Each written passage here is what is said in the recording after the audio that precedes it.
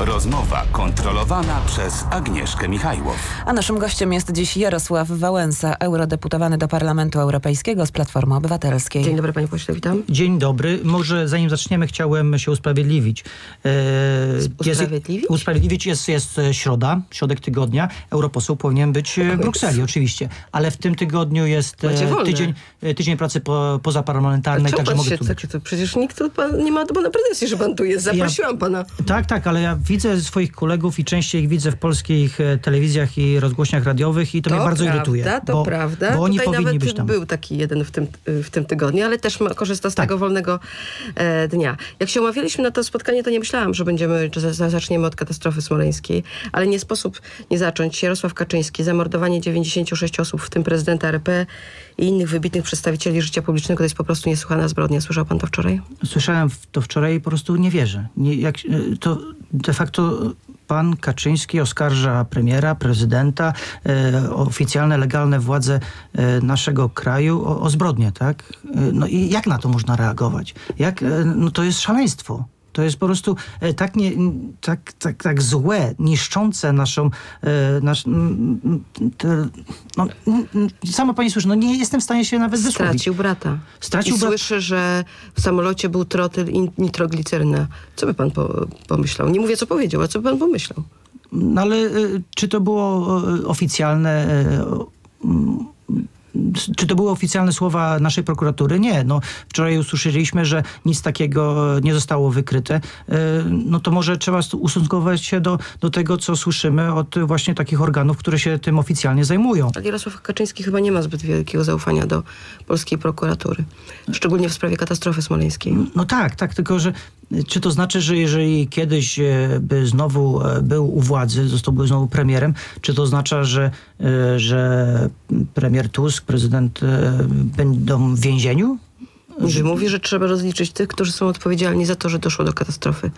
Ale to, że chce rozliczyć, to chyba trudno się dziwić, tak? No bo to była poważna katastrofa. Zginęło bardzo wielu, wiele osób, a do dziś tak naprawdę tak do końca nie wiemy, co i jak było i dlaczego. No, mamy raport e, Komisji Millera, mamy e, cotygodniowe czy comiesięczne e, jakieś oświadczenia właśnie z prokuratury e, wojskowej.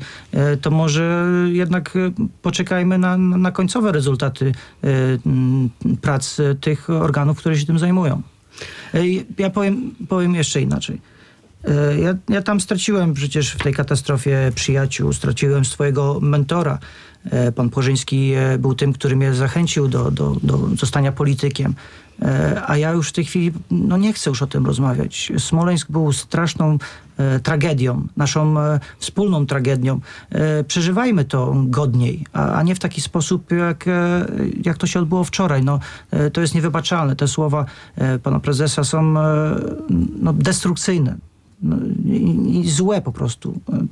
Może zakończmy na tym, bo... Dobrze, ja nie, to skończmy ten temat. Chciałabym porozmawiać o, o procesie człowieka, e, z którym miał pan wypadek, tak? Ten proces się kończy.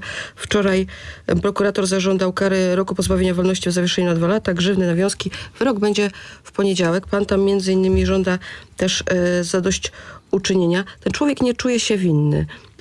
A pan? Mm, Tak jak już powiedziałem wielokrotnie, e, nie mam tych spo- wspomnień. Nie wiem, e, nie pamiętam, co się wtedy wydarzyło. Na podstawie e, analiz ekspertów sądowych jednoznacznie widać, że, że oskarżony popełnił błąd. Mi by wystarczyło tylko, jakby przyszedł do mnie do szpitala, jak jeszcze wtedy leżałem i, i powiedział przepraszam. To by mi naprawdę wystarczyło. Właśnie, bo pan ma tak po ludzku do niego jakieś pretensje i żal, że, No, że wtedy wyjechał? Mam, mam żal, że, że nie potrafi e, uderzyć się w piersi i powiedzieć, e, że popełnił błąd. E, Nie, nie chcę tego dalej analizować. Czekamy na, na wyrok sąd, sądu. To się odbędzie w przyszłym tygodniu i mam nadzieję, że na tym uda mi się zakończyć ten temat. To jest dla mnie bolesne. Straciłem prawie że rok swojego życia. Ciągle muszę się rehabilitować i już nigdy nie odzyskam pełnej sprawności. E, A tak po ludzku jest mi trochę przykro, że, że nie usłyszałem tych słów. Ale ten żal wycenia pan na 100 tysięcy? E, Pieniądze, które, e, o które mm, poprosiłem, przekaże e, na mm, akcję charytatywną, e, która będzie pomagała właśnie e, motocyklistom e, w potrzebie, tak jak e, ja tutaj potrzebowałem. Ja nie chcę tych pieniędzy dla siebie, e, ale wydaje mi się, że, e, że, że mogę tutaj też e, pokazać, czy- swoją osobom e, m, świadczyć o tym, że, że motocyklista jest na, na, na przegranej pozycji.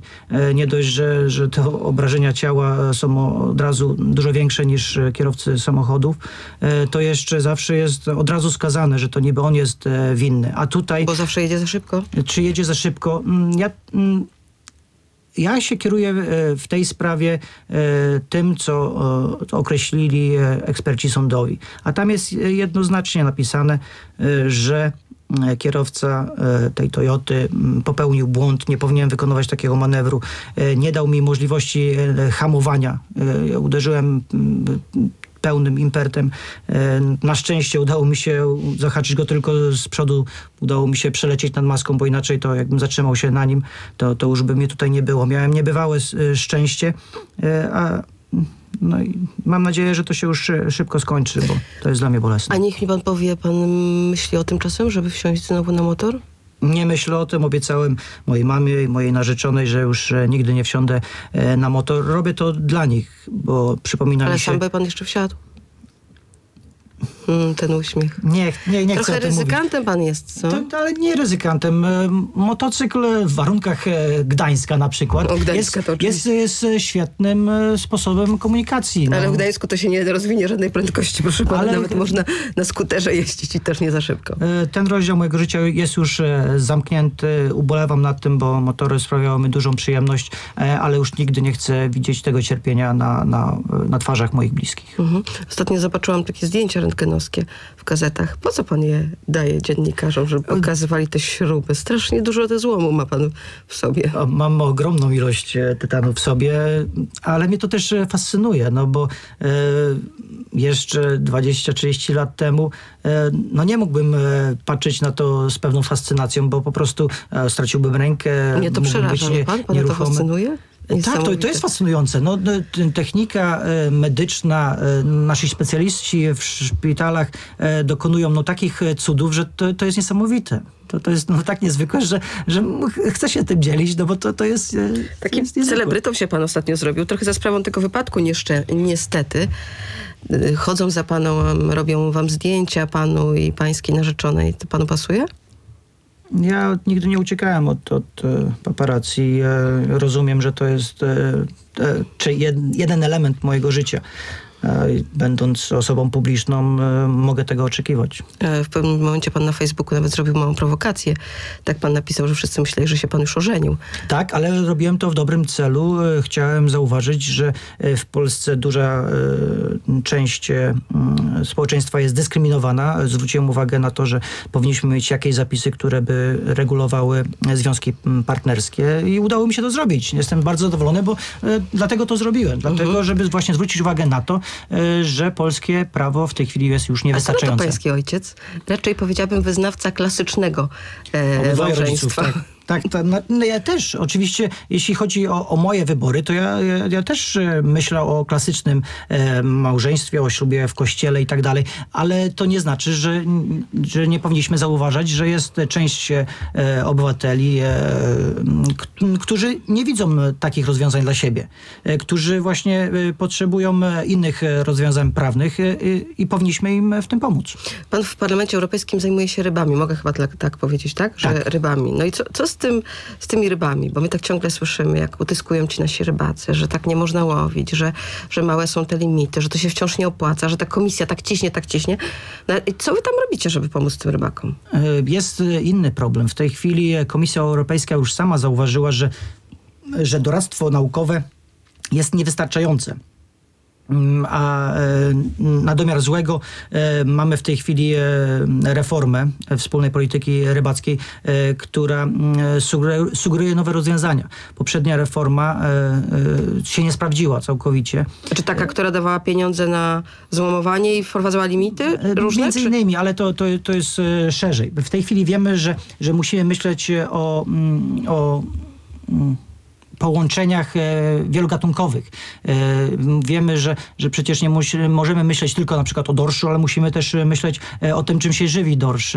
Musimy myśleć bardziej, no, trochę szerzej, ale z drugiej strony Komisja Europejska zauważyła, że musimy myśleć też o regionalizacji, żeby właśnie ry- rybacy tutaj w, na Bałtyku razem z naukowcami mogli sami decydować, co jest najlepsze dla nich. Tak, a nie, że dotychczas, dotychczas to mi się wydawało, że Komisja Europejska jest najmądrzejsza w tej sprawie. tak, tak, no ale oni też e, sami teraz zauważyli, że, że nie są najmądrzejsi e, i wracają właśnie do tego rozwiązania, e, które pozwoli słyszeć rybaków, naukowców w danym akwenie, nie tylko na A Bałtyku, czy u nas wszędzie. tutaj na tym Bałtyku, y, gdzie polscy rybacy łowią, jest szansa na zwiększenie limitów, czy to, to już jest jakby kwestia zamknięta?